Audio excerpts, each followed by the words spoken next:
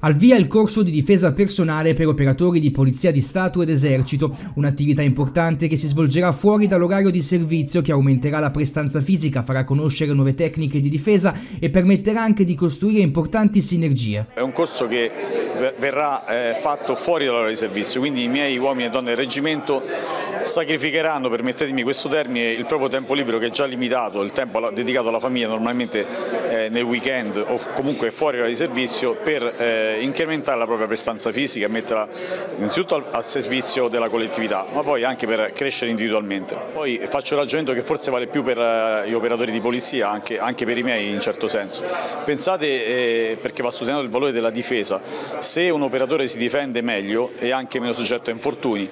Pensate un, un infortunio che possa accadere in servizio e quell'operatore manca poi per 45 giorni, 50, 60 a seconda della prognosi, è un operatore in meno che salvaguarda la sicurezza della, della città, quindi ha un valore estremamente alto. Un corso di difesa personale unico a livello nazionale organizzato dal SIULP di Pesaro Urbino che ormai da dieci anni crea progetti per la sicurezza dei cittadini e trasmette valori di legalità e sicurezza. Abbiamo deciso, è molto importante secondo noi, riuscire a creare una sinergia, un gruppo, un gruppo di lavoro in modo da formare i nostri operatori delle forze di polizia. Adesso partiamo con la Polizia di Stato, ma chiaramente il nostro obiettivo è quello di coinvolgere tutte le forze di polizia, quindi Arma di Carabinieri, Esercito, Polizia Locale, Polizia Penitenziaria, quindi far lavorare insieme tutte queste forze di polizia, riuscire a farle formare e dargli quegli strumenti di lotta e difesa personale in modo che se arrivano, devono contrastare una persona, noi vogliamo essere in grado di dargli quelle tecniche, quelle capacità operative di difesa personale in modo che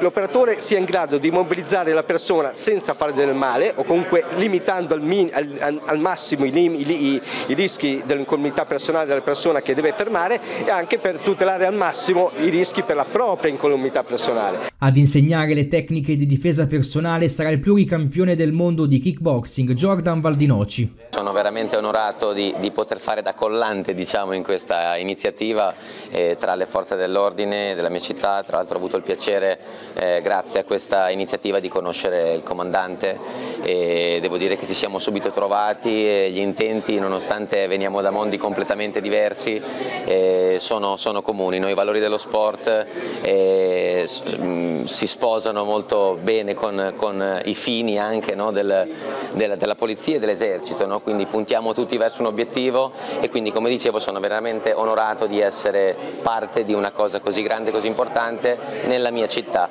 quindi veramente contento per, per tutto ciò.